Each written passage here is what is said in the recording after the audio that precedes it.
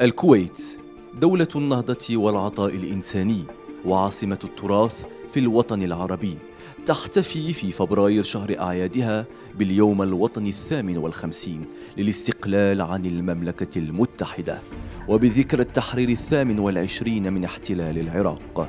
وقبلها احتفت بالذكرى الثالث عشرة لتولي سمو الشيخ صباح أحمد الجابر الصباح مقاليد الحكم في البلاد.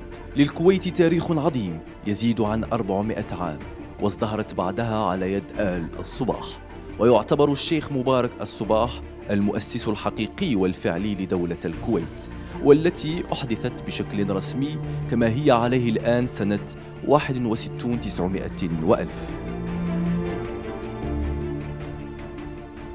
تطورت دولة الكويت الشقيقة وعلى شأنها وصارت من أوائل دول العالم وللعلاقات المغربية الكويتية تاريخ مجيد يثمنه وقوف المغرب إلى جانب الكويت إبان الغزو العراقي وتأكيد الكويت دعمها للوحدة الترابية للمملكة مع تعزيز التعاون الاستراتيجي في مختلف المجالات لا سيما الاقتصادي والسياسي.